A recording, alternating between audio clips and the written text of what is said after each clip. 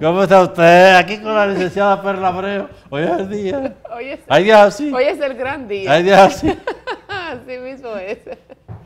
El gran día es hoy. Es hoy, es Porque hoy. no, porque no piensas así. Primero tú tienes que pensar, mira, ya sabemos lo que vamos a hacer.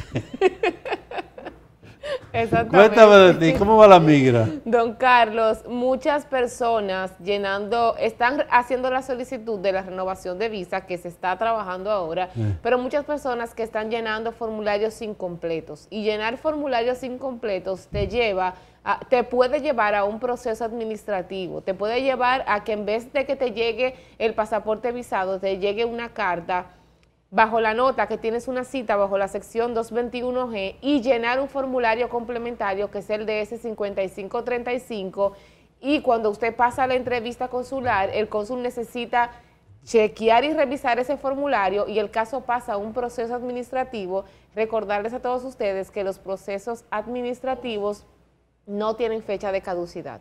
Solo ellos lo determinan, entonces, atra- entonces eso, don Carlos, atrasa el proceso. Es importante que cada persona lea su formulario, que si usted busca ayuda para hacerlo, la persona que se lo está llenando debe de dárselo para que usted lo revise y que esté lleno correctamente. Y por favor, a lo que es que sí, no me le ponga que no, Claro. ni al revés, porque entonces eso, ahí es que viene la confusión, se retrasa el caso de la solicitud de renovación y ahí es que viene la desesperación de muchas personas. Ok, vamos a esta llamada. Buena. Buenas, buenas tardes. Buenas. Está ahí. Hola, Sí, buenas. buenas. Le escuchamos. Su pregunta, por Sí, favor. licenciada, buenas Sí. tardes. Carlos, buenas tardes. Buenas tardes. Eh, licenciada, eh, mi caso es que yo estoy ya para cita. Eh, caso tiene nueve años por, por, asunto de la pandemia, claro está que se retrasó. Pero el asunto es otro. Eh, cuando yo pagué los impuestos, el hijo mío, que tenía 18 años en el tiempo de mi petición, eh, me pidieron su acta de nacimiento. Ahora bien, cuando yo pagué mis impuestos, en la carta decía que pagara los impuestos de él. Luego me dice que él no calificaba, o sea, estaba fuera del caso. Y ya los impuestos están pagos, pero he mandado algunas cartas y me dicen como que, que me espere. Pero yo creo que ese dinero, yo creo que no lo recuperamos. Yo quiero saber si ese dinero se pierde o se podemos seguir enviando cartas.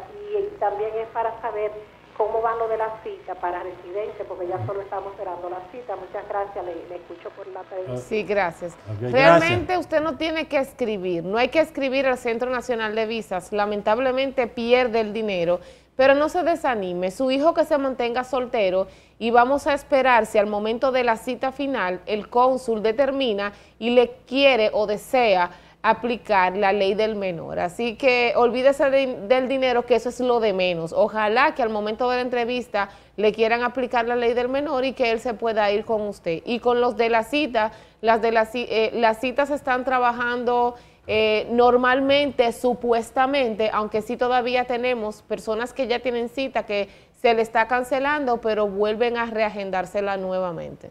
Bien, vamos a hacer una pausa. A ver. Volvemos en breve.